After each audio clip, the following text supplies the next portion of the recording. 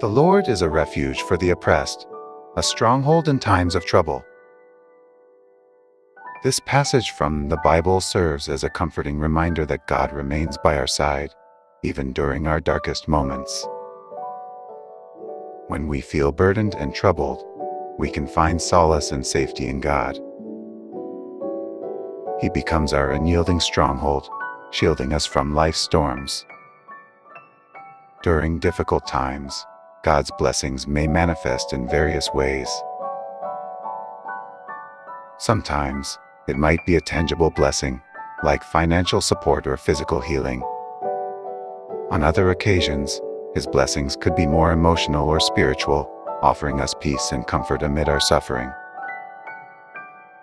Regardless of the form his blessings take, we can be certain that God is consistently there for us. He becomes our refuge, our impenetrable fortress, and the wellspring of hope that sustains us.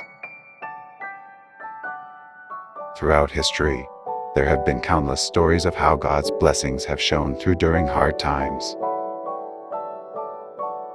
The tale of Job is a prime example of God's blessings amid adversity.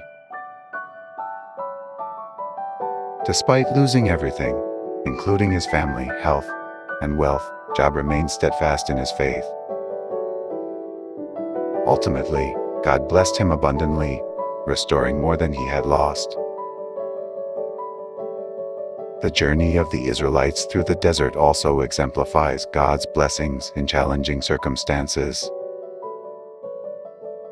Even as they faced numerous hardships during their 40 year journey, God never abandoned them.